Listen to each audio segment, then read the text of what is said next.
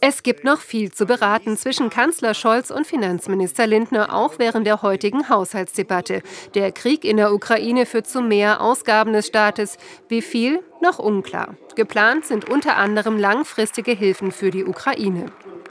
Unsere Solidarität für unseren europäischen Nachbarn ist auf Dauer angelegt. Und deshalb brauchen wir einen internationalen Marshallplan für die Ukraine. Einen sogenannten Ergänzungshaushalt will der Finanzminister noch vorlegen. Daraus sollen die Ausgaben im Zusammenhang mit dem Ukraine-Krieg bezahlt werden. Es werden Entlastungsmaßnahmen und Stützungen für die Bürgerinnen und Bürger und die Wirtschaft nötig. Wir werden Maßnahmen zum Schutz, zur Unterstützung und zur Integration von Menschen zu finanzieren haben, die aus der Ukraine zu uns flüchten. Weiter geplant 100 Milliarden Sondervermögen für Verteidigung, verankert im Grundgesetz. Eine Zustimmung der Union ist dafür nötig, die ist allerdings skeptisch.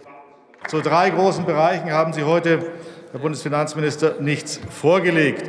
Zur Finanzierung der Verteidigung Fehlanzeige, zur Reduzierung der Energiepreise Fehlanzeige, die Herausforderung der Flüchtlingssituation Fehlanzeige. Der Linkspartei kommen Ausgaben für Soziales zu kurz. Kindergrundsicherung, Bürgergeld, ausreichende Intensivbetten in den Krankenhäusern, mehr Pflegekräfte, bessere Bildungschancen für unsere Kinder sind in ferne Zukunft gerückt, und das ist fatal. In den kommenden Tagen wird der Bundestag weiter über den Haushalt beraten.